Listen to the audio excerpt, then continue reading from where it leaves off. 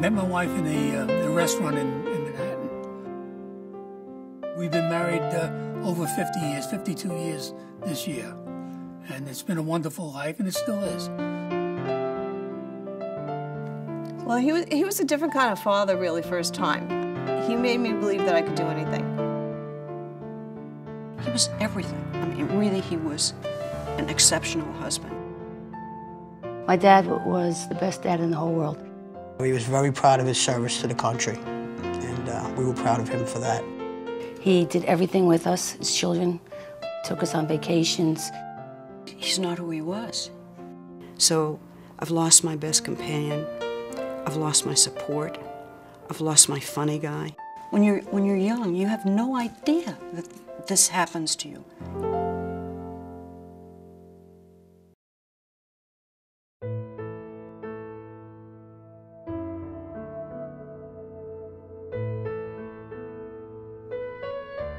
One of the things that is often a question in my practice, Heather, what do I say to him?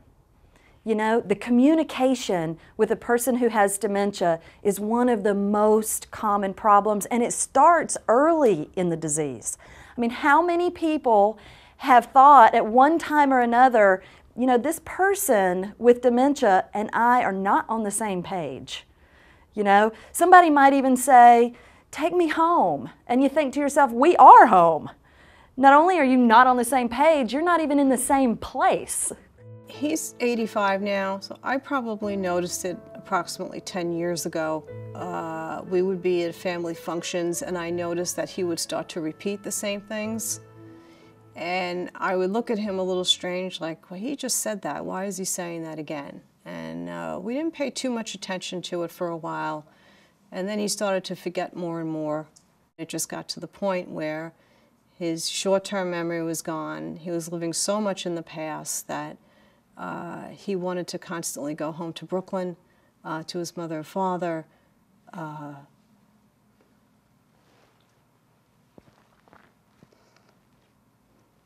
to my mother and my sister and I. And we would all be standing in front of him. And, uh, but that's what, what he wanted. He wanted us, he wanted my mother young, he wanted us smaller, and he wanted to go home to Brooklyn.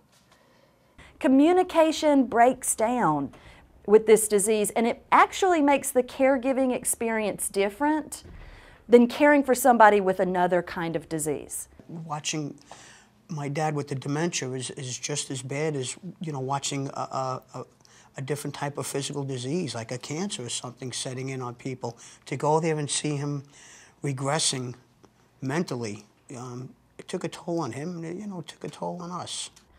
Scientists have looked at the special experience of family caregivers taking care of people with dementia and compared that difficult experience to the experience of caregivers taking care of folks with other illnesses. Dementia caregiving, when compared to other types of caregiving, weighs heavily in the burden on the caregiver. The negative health outcomes for caregivers of people with dementia are higher than caregivers taking care of someone with even end-stage cancer, renal disease, heart disease. It's actually in this population, folks caring for people with dementia, where we see caregivers actually dying before the people with dementia die. My mother's health really started to decline more emotionally and mentally because she was just, you know, here's this man that she expected, and she kept saying to me, I didn't expect it to turn out like this. Um, you know, she expected to spend the rest of their years in this lovely little cozy home, sandwiched between her two children and her grandchildren around her, and uh, she started to not be able to cope with what was happening with him, and her health deteriorated.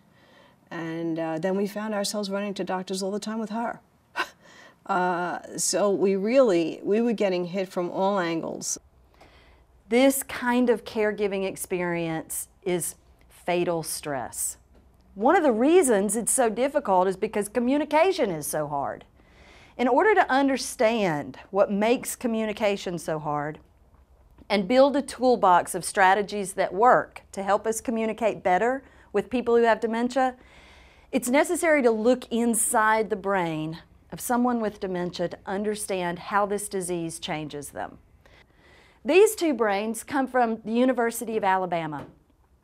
They were selected from two fellas because those two fellas were as similar as two guys could be, with one difference. The brain on your right has had Alzheimer's disease for about 10 years. So there are some obvious differences about those two brains. I mean, if you're looking at it, one of the first things that comes you know, to mind is that the brain on your right is so much smaller. The disease will take two-thirds of the brain mass, leaving a person with just one-third the brain they started with. The other kinds of differences that you see are those spaces that are so deep and wide. And it's really when brain cells are sick and dying that they're shedding from that brain.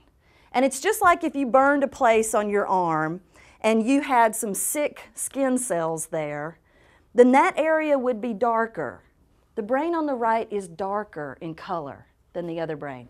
Those sick skin cells would be darker, and when they died, they slough off, right? So it's the same kind of process in this organ. All of the darker areas represent sick brain cells, and when they die, they slough off. Some people ask, well, you know, what happens to these brain cells? It's, you know, dad's head is not sloshing around. It's not any looser up there than it used to be, and they're not coming out of his ears. So what's really happening, I remind folks all the time that your central nervous system is enclosed in that nice lining so that everything stays inside the lining between your brain and all the way down your spinal cord. And inside that lining, there's fluid that constantly washes the central nervous system, right? Well, when these brain cells die and slough off, they don't escape that nice tight lining. They just enter that fluid and now circulate constantly up and down the central nervous system. That's why